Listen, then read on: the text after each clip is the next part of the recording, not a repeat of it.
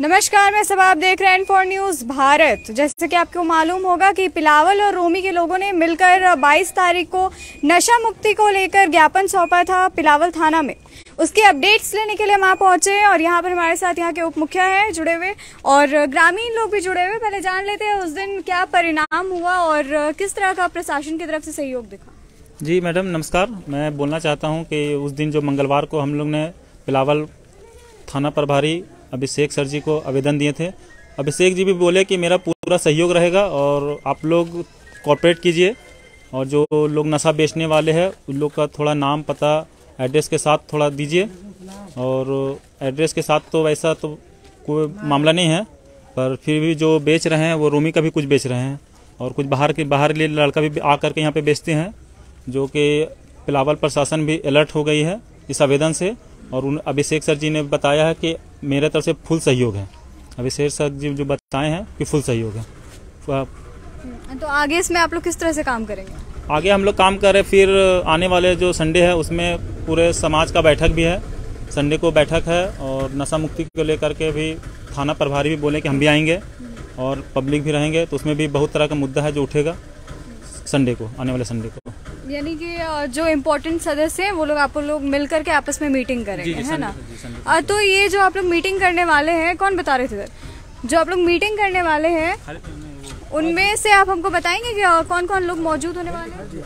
मौजूद होने वाले जैसे रूमी पंचायत में गाँव आता है तीन चार गाँव आता है जैसे छड़वा आता है रूमी आता है अलग डिहा आता है चौथा आता आता है और भी एक दो है पिलावल के भी कुछ सदस्य रहेंगे छड़वा के भी सदस्य रहेंगे वो सब सभी आएँगे इस बैठक में। हिंदू मुस्लिम सब हिंदू मुस्लिम सब तो टोटल बैठक रहेगा। दोनों समाज का बैठक रहेगा। संडे को आने वाले संडे को। क्या लगता है ये जो नशा इतना बढ़ते जा रहा है इधर आइए।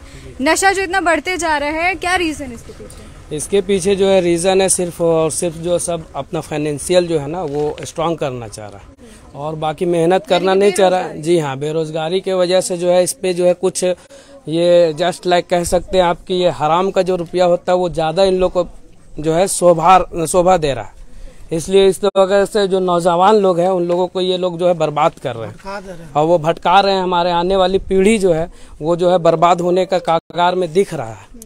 और बहुत से ऐसे लोग हैं जिनका नाम नहीं लेना चाहते। हम लोग खुद जानते हैं कौन कौन है मगर वो जिस दिन रंगे हाथ पकड़ा गए तो उस दिन फिर गाँव वाले जो हम लोगों को दिए हैं आदेश जो हम लोग को दिए हुए हैं सबको मिला हुआ है तो फिर उन लोगों का हसर क्या होगा वही लोग जानते हैं।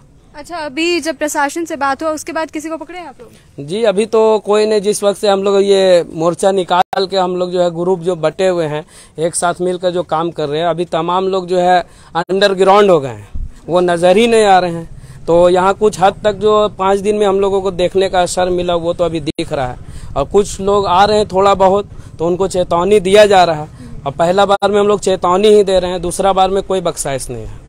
चलिए तो आगे वक्त ही बताएगा ये आप लोग का जो एक्शन है, कितना ये वर्क करता है और कितना इसका रिज़ल्ट होता है। खैर इतना कह सकते हैं कि एक अच्छी पहल है जो लोगों के द्वारा ली गई है। नशा जो है, आम जनता के लिए, जो बच्चे होते हैं, खास करके लिए इसमें इन्वॉल्व होते हुए नज़र आ रहे हैं। बहुत सारे केसेस आ रहे हैं चोरी के। जैसे कुछ दिन पहले हमने आपको बताया था कि कोर्ट कंपाउंड के पास भी चोरी हुई है। नशा को ही एक रीजन बताया जा रहा है। हजारीबाग में जो नशा का हब बनते जा रहा है एरिया इस चीज़ को लेकर अगर कोई स्टेप लिया जा रहा है तो बहुत बेहतरीन चीज़। इसी के साथ जुड़े रहे